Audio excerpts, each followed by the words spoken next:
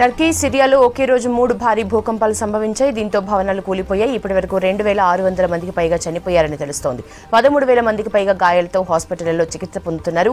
చాలా మంది భవనాల శిథిలాల కింద చిక్కుకుపోయారు. వీరి కోసం సహాయక చర్యలు కొనసాగుతున్నాయి. రెండు దేశాలకు సాయం చేసేందుకు ప్రపంచ దేశాలు ముందుకొస్తున్నాయి. టర్కీ సిరియా భూకంపంపై ప్రధాని నరేంద్ర మోడీ దిగ్భ్రాంతి వ్యక్తం చేశారు.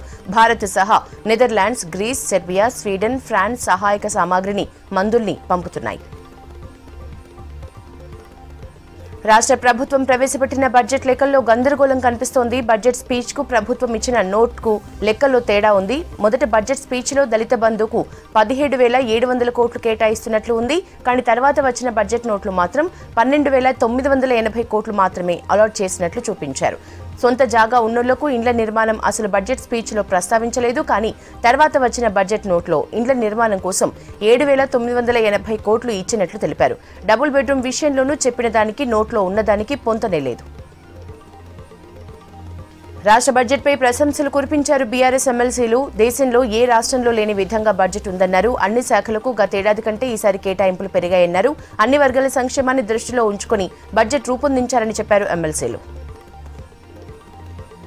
రాష్ట్ర బడ్జెట్ పై ఫైర్ అయ్యారు. కాంగ్రెస్ నేతలు బడ్జెట్లో కొత్తదనం ఏమీ లేదన్నారు. సీఎల్పీ నేత భట్టి విక్రమార్క రైతు రుణమాఫీ ఊసే లేకపోవటం దారుణమన్నారు.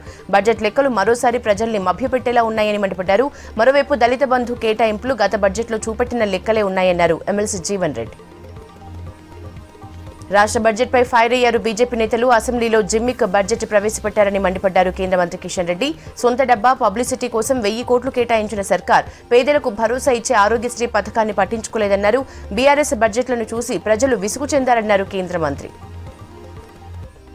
చివరి బడ్జెట్లో సీఎం కేసీఆర్ అన్ని వర్గాల్ని మోసం చేశారన్నారు. బీజేపీ జాతీయ కార్యవర్గ సభ్యులు వివేక్ వెంకటస్వామి దళిత బంధు పేదల ఇండ్లపై మాట తప్పిన కేసీఆర్ను ప్రజల్ని నమ్మరని చెప్పారు. రైతు రుణమాఫీపై నాలుగేళ్ళు ఊరించి బడ్జెట్లో వెన్నుపోటు పొడిచారన్నారు. రాష్ట్రంలో కేసీఆర్ దుకాణం బంద్ అయినందునే బడ్జెట్ కాకుండా political speech ఇచ్చారన్నారు.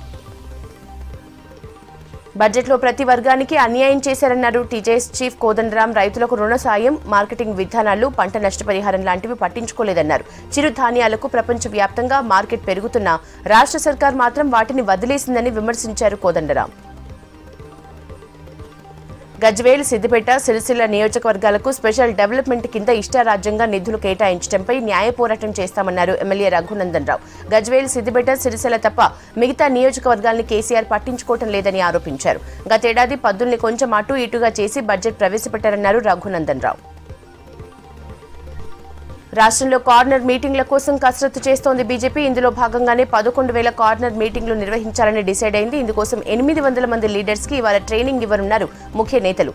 BJP incharge Sunil బన్సుల్తో పాటు party chief Bandi Sanjay corner మీటింగ్లపై అవగాహన కల్పించనున్నారు. రంగారెడ్డి జిల్లా మన్నెగూడలో మీటింగ్కు ఏర్పాట్లు చేశారు బీజేపీ నేతలు.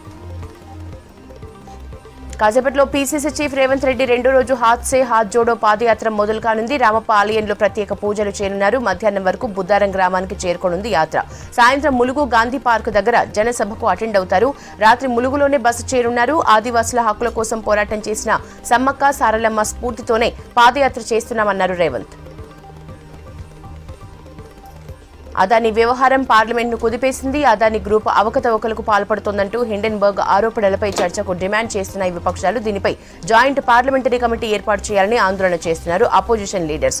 నిన్న సభలో విపక్షాలు ఇచ్చిన వాయిదా తీర్మానాల్ని లోక్సభ స్పీకర్ ఓం బిర్లా రాజ్యసభ చైర్మన్ జగదీప్ ధన్కర్ తిరస్కరించారు.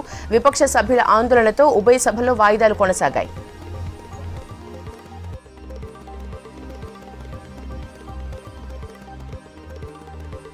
అదాని ఇష్యూపై దేశవ్యాప్తంగా కాంగ్రెస్ ఆందోళనలు చేసింది అమెరికా సంస్థ విడుదల చేసిన హిండెన్బర్గ్ నివేదికపై సమగ్ర దర్యాప్తు చేయాలని డిమాండ్ చేస్తూ ఎల్ఐసి ఎస్బీఐ కార్యాలయం ముందు బైఠాయించారు కాంగ్రెస్ కార్యకర్తలు నేతలు. మోడీ హటావో దేశ్ బచావో అంటూ నినాదాలు చేశారు. అదానిని ఎందుకు వెనకేసుకొస్తున్నారో చెప్పాలని డిమాండ్ చేశారు. కేరళ ఢిల్లీతో పాటు పలు రాష్ట్రాల్లో ఆందోళనలు ఉద్రిక్తంగా మారాయి.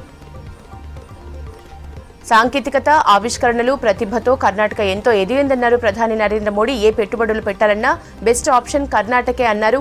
సోమవారం బెంగళూరులో పర్యటించిన ప్రధాని ఇండియా ఎనర్జీ వీక్ని ప్రారంభించారు. ఆసియాలో అతిపెద్ద హెలికాప్టర్ కంపెనీని జాతికి అంకితమిచ్చారు అభివృద్ధి చెందిన దేశంగా మార్చాలనే సంకల్పంతో ముందుకు సాగుతున్నామన్నారు మోడీ.